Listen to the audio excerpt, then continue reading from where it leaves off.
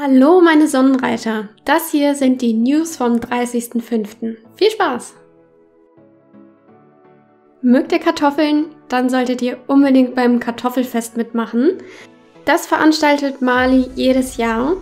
Ihr könnt das Kartoffelrennen auf seinen Feldern ausprobieren und ihr könnt es bis zum 6. Juni machen. In Javik City, genauer gesagt in Governors Fall, gibt es neue Kleidung. Dort gibt es zwei neue Sets für euren Reiter und für euer Pferd. Außerdem gibt es neue Schleifen in der Mall, oben im Deko-Shop. Wenn euer Kleiderschrank euch zu klein ist, dann wird euch das hier freuen. Es gibt jetzt einen größeren Kleiderschrank und zwar habt ihr jetzt 15 Reiter anstatt 10.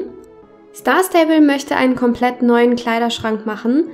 Da könnt ihr auf sämtlichen Social Media Kanälen eure Wünsche reinschreiben. Der Pferdemarkt in Vorpinter ist wieder eröffnet. Helft gerne Eddie und Ferdinand und shoppt ein bisschen, wenn ihr wollt. Danke fürs Zuschauen. Ich hoffe, euch haben die News gefallen und bis zum nächsten Mal. Tschüssi!